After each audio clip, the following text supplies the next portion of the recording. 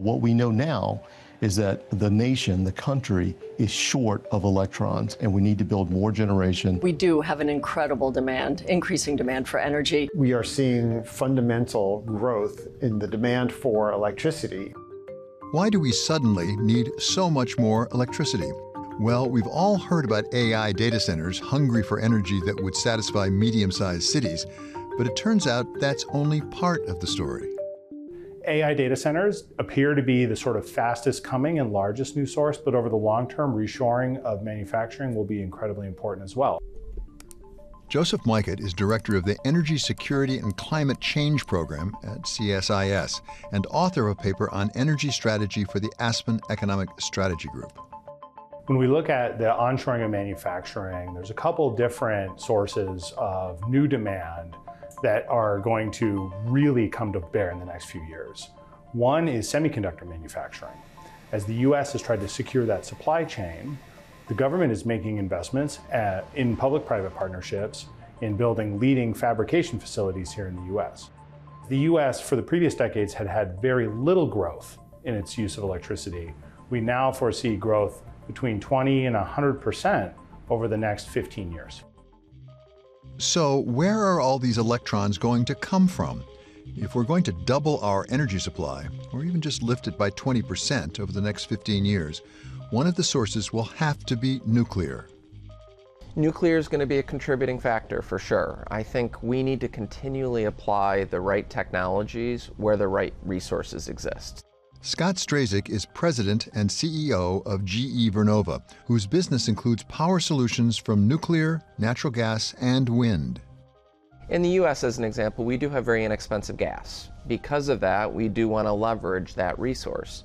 At the same time, we have a lot of good land that has good fuel in the form of wind and solar. Where those resources exist, we should use them.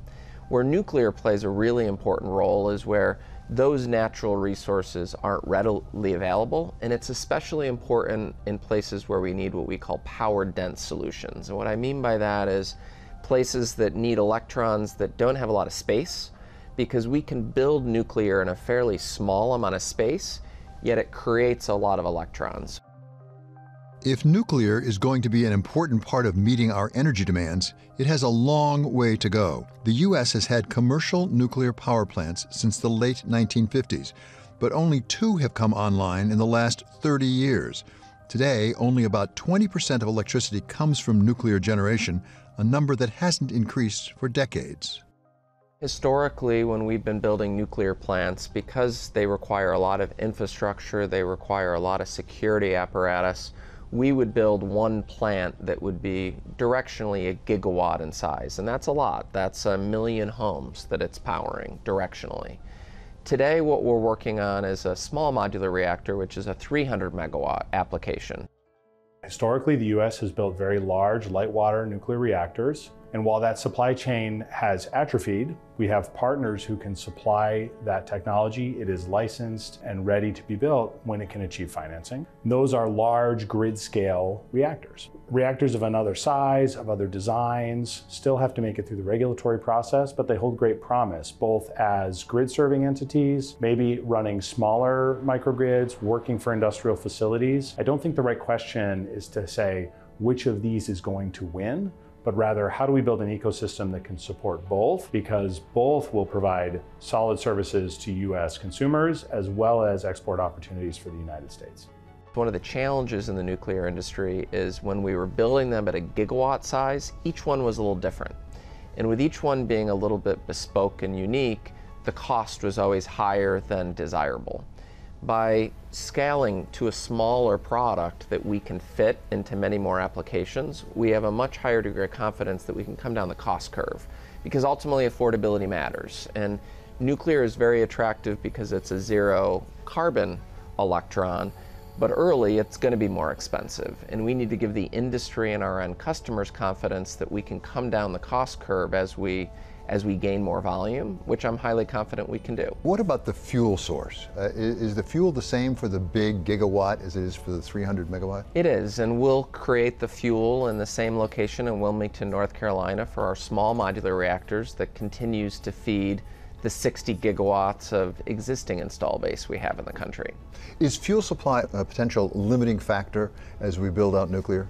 As nuclear grows, for sure, we're going to need more uranium supply. I think this is an area for growth in the U.S. We certainly are dependent on other countries today for more of our uranium than we are, as an example, with things like gas, where we can extract all of it out of the ground ourselves here. So that is going to be priority, and I think that's something that you're seeing a lot of companies lean into today.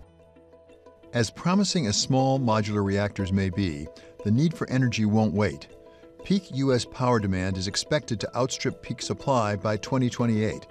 And the fact remains that, as of today, there are no small modular reactors actually up and working in the United States or anywhere outside of China and Russia, though GE Vernova hopes to change that by 2030. Nicole Holmes is the company's chief commercial officer and a nuclear engineer. This is very important. If you don't remember anything else, it's that this is real and it's happening right now. A lot of people ask me, when will nuclear happen? When will there be new nuclear?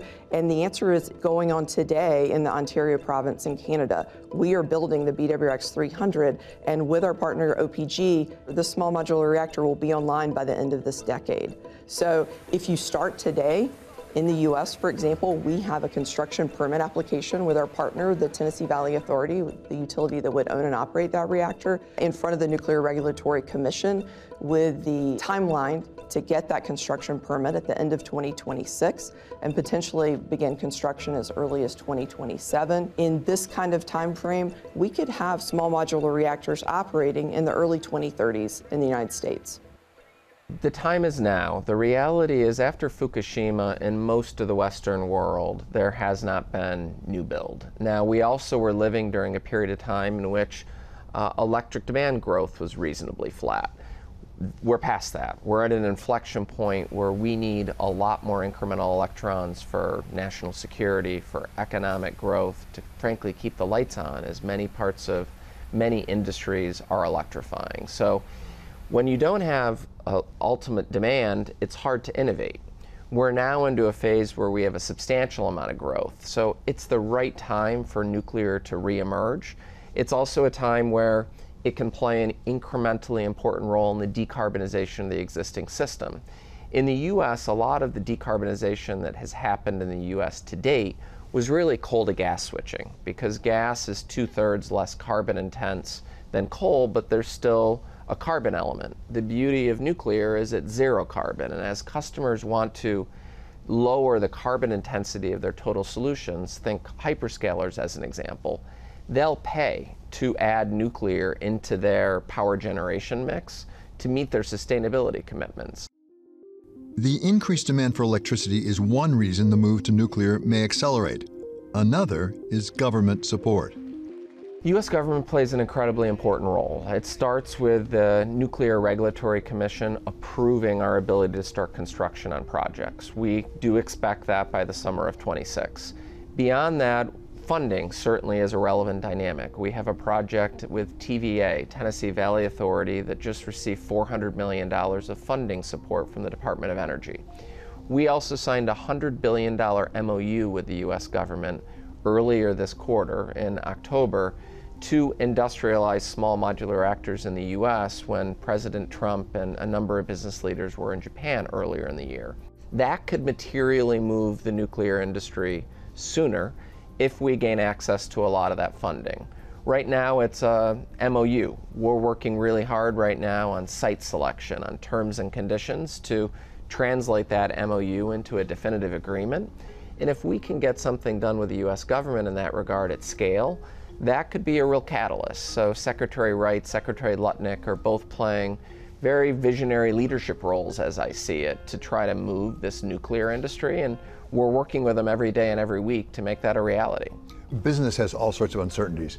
International relations go to a degree beyond that. Yes. Uh, how confident are you in that money from Japan specifically that was talked about in the commitment for investment in the United States for nuclear and for Vernova specifically? Well, in our case, one of the benefits we have is we do have a Japanese partner in our nuclear business. So it's GE Vernova, Hitachi together. I mean, Hitachi is a minority partner, but a very important partner for us. So if the Japanese government is going to fund projects in the U.S. associated with that trade deal, it certainly makes sense for it to be in uh, arrangements where there's Japanese companies also involved, and that's one of the benefits we have.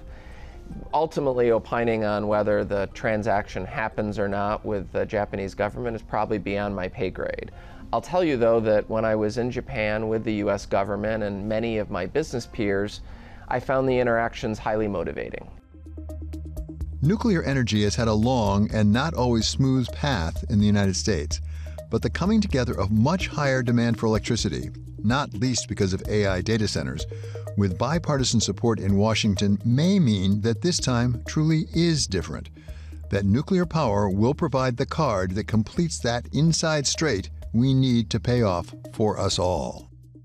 You know, on the topic of nuclear, I think the good news right now is that's generally a topic that's agreed to on both sides of the aisle. Um, so there's some consensus there, maybe more so than some other power generation sources. So I'm not concerned about uh, future administrations per se when it comes to nuclear. So we needed a kickstart.